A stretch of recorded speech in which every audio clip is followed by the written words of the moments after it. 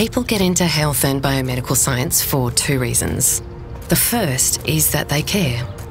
The second is that they believe they have the power to make a difference. To work in this industry is to be a custodian of the skills that support well-being. It's seeing the future of health from a distance and breaking the big picture down. It's what's next for pharmaceutical sciences, nursing, biomed, and psychology. It's the integration of ancient traditions and modern medicine.